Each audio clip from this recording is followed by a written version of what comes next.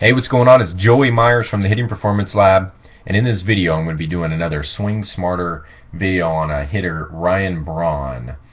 And in this video we're going to talk about how Ryan Braun's swing is very, very springy, much like the Red Kangaroo or the Gazelle or Dean Karnazes, the 50 marathons in 50 days guy, how he's able to, to run long distances for what seems like days on end.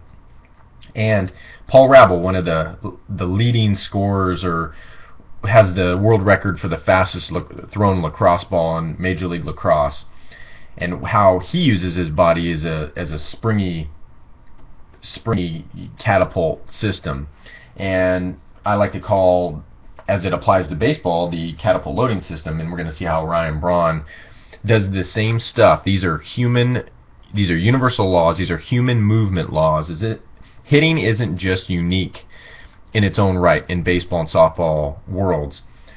Hitting is just like any other explosive rotational sport, and we're gonna we're gonna compare Braun's swing or his explosive rotational mechanics to Jan, the world record javelin thrower in the Olympics, and how Jan uses similar, looks a little different because there's some things that us hitters we just can't do because we take our eye off the ball or something like that, and we just have a smaller space to work with but we're going to see how other explosive rotational athletes and, and hitters are very, very similar. So as we look at Ryan Braun here, this is a number. This is a home run number 40 of 2012, and this is a perfect view of his swing. And you actually see him float a little bit as he comes forward. He'll float, he picks a foot up before he actually starts falling forward.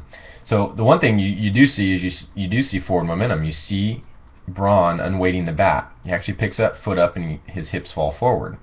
That's important because without this, for a small hitter to hit like a big hitter, it's going to be very hard because this forward momentum, just this little bit, gets the catapult loading system fired up.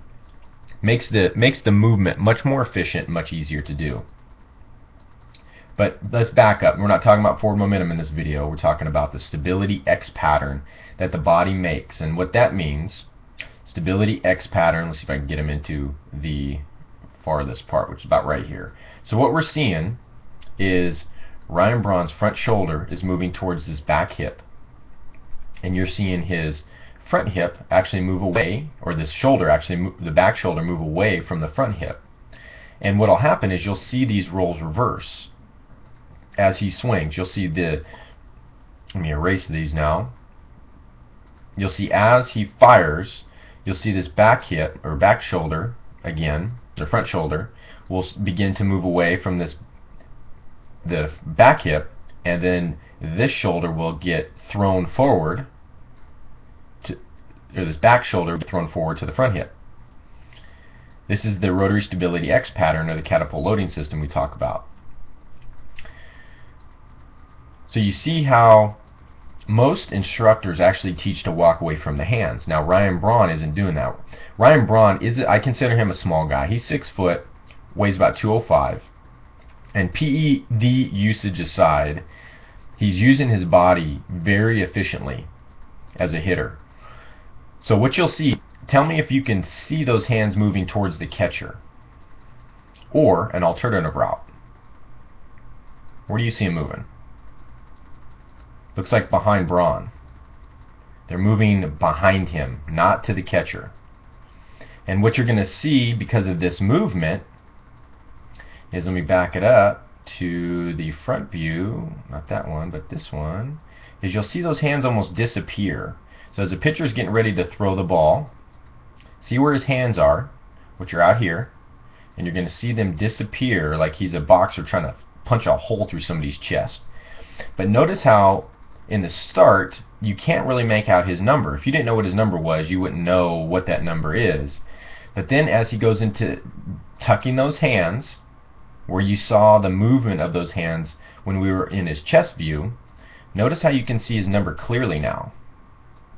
So it's not just a tuck into the hands motion, it's a, it's a torso tuck because the body has three different types of materials inside, give or take. But when you're talking about muscles and bones and connective tissue, the connective tissue in question here is mainly myofascia. which is a collagen-like material that most of you know that celebrities like Joan Rivers tend to inject into their face. It's it's like steel is to the, to the building industry. Myofascia is to the human body. Very springy like material. And though this twisting of this tor torso really capitalizes on these compression and tension forces of the bones and muscles and myofascia. Myofascia is like a cotton candy like material, and bones and muscles float in this. This is according to Thomas Myers in his book Anatomy Trains. So this myofascial material is what is very springy and is why you see Braun do what he's doing. So now let's take a look at the same spring material as we look at uh, other explosive rotational athletes like Jan throwing the javelin. Now they throw this thing pretty far, but as you'll notice there's a lot of forward momentum here, right? He's running, but obviously we can't do this as a hitter. We have a, a smaller area that we have to work in. We have a batter's box. So we can't really get this running start like this. However, it's forward momentum nonetheless. It's unweighting the javelin. Okay, and what you'll see here, as he's running, you'll see towards when he gets ready to throw, is you'll see him, this shoulder, front shoulder, you see here, has gotten closer to this back hip, and you've seen that in this front hip, just like we talked about with Braun, it's getting farther away from the back shoulder.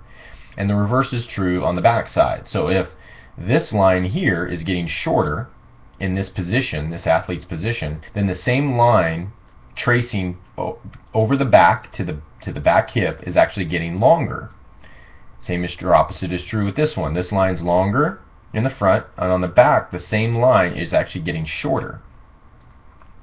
And this is when Jan is tightening up, getting springy to release the javelin. As you see here, those same lines that we talked about, the front one being shorter, the back one being longer, will reverse as we explode. So as you can see, this it's starting to open up already, and then boom, you see his his shoulder, his front shoulder disappears, and he he fronts up to where he wants to throw that javelin. So as you see, the same catapult loading system involved here with Jan throwing the javelin at a world record distance and using forward momentum as well. So I hope this video helped out a little bit, showing the body is springy, has springy material, these tension and compression forces, and the stability X pattern that we talked about. And when we apply it to baseball, it's called the catapult loading system. Hope you learned something. If you got any questions, please post them below the video.